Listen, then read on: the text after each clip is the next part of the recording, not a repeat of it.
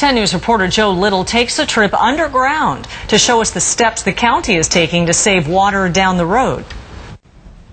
This is the dark, narrow path water takes on its way to San Diego.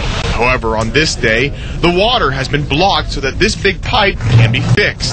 It's 40 years old and it's starting to show its age. This pipeline in particular has been showing signs of corrosion and wear over the years. When it's operating, this pipeline carries millions of gallons of untreated water about 10 miles from Riverside County underneath Fallbrook into the North County. Oh, it's completely full.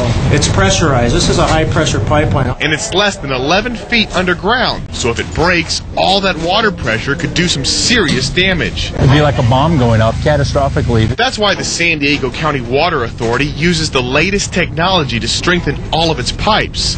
They invited 10 News to watch as they applied a super strong carbon fiber lining to the inside of this pipe. They apply it sort of like a wallpaper, if you will, try to get the bubbles out. With only headlamps for light, workers applied several layers of the carbon fiber wallpaper. And you can see how thin it is.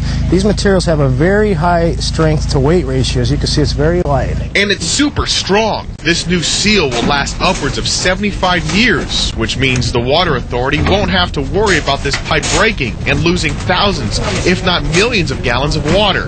Now, the carbon fiber wrap is expensive at $3,000 a roll, but it's faster and cheaper to install than the options. One, you would either dig it up and replace it with a new steel pipe, or two, you could go in and stick in a steel pipe in its place. That process could take days. This patch job will take less than 96 hours, a relatively quick fix to keep water flowing to the North County.